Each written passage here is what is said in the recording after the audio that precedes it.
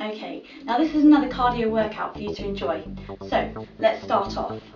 Just bouncing out. Good. Let's use our arms. Good. Just imagine you're giving someone a big hug. Good. And four more. Then we're going to take it behind us. And this one's imagine you're scooping something up. And four, three, two, to the beginning. And hug.